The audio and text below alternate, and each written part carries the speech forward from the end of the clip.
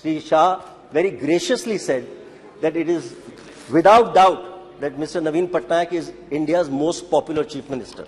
These were Mr. Amit Shah's own words. And he also praised Mr. Patnaik for the cooperative federalism and the constructive cooperation with the center that he has demonstrated in his last 24 years as chief minister.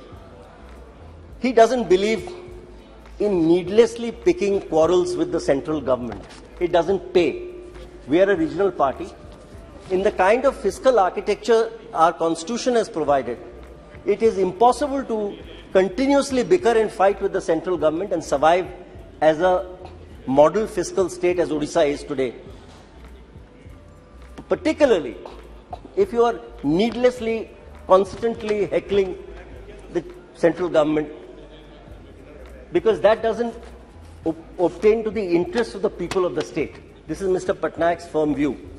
He believes that yes, party politics has its place. There is no question.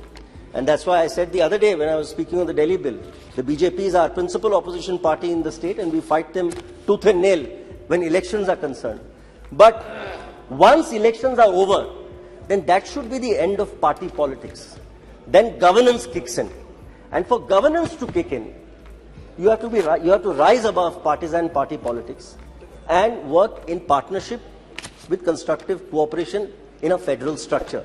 That's what Mr. Patnaik has always believed in, and that's what Amit Shah ji, in fact, said that this is the reason that I appreciate Mr. Patnaik's role as Chief Minister.